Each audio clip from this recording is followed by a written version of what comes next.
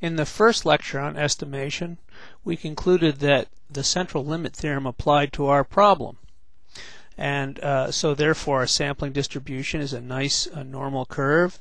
That is, if we took uh, millions and millions of samples of size 2000, they'd form a nice normal curve like this. And we partition off 90% of the normal curve as shown below. So, um, and we hope that our uh, our particular uh, sample will land somewhere between here and here. In fact, we're 90% sure that it will. Uh, we're 90% confident that, that, that it will, that 0.79 will be between here and here. Now the problem is, of course, we don't know where here and here is. So uh, we start looking for here and here, right? The the, the uh, boundaries of this um, 90% confidence interval.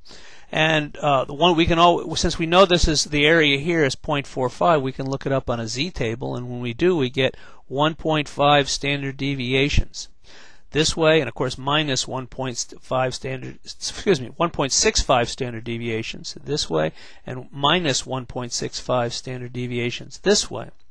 And so we're 90% confident that our sample will be within 1.65 standard deviations of the um, of the actual uh, proportion, population proportion. Now, how far is that in percentages?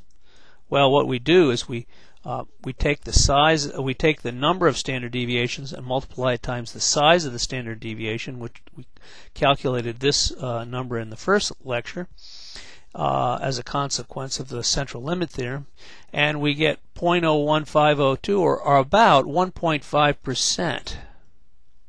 So now we know this. By the way, this 0.01502 is called the sampling error.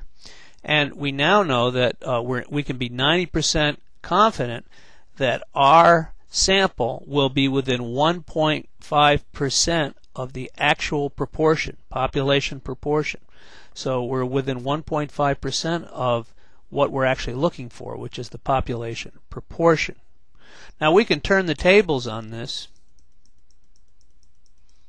Okay. Oops, maybe we ought to look at this. We know from the central limit theorem that there's a 90% chance that any sample, including ours, will be within 1.5% of the actual population proportion. Well, we already said that.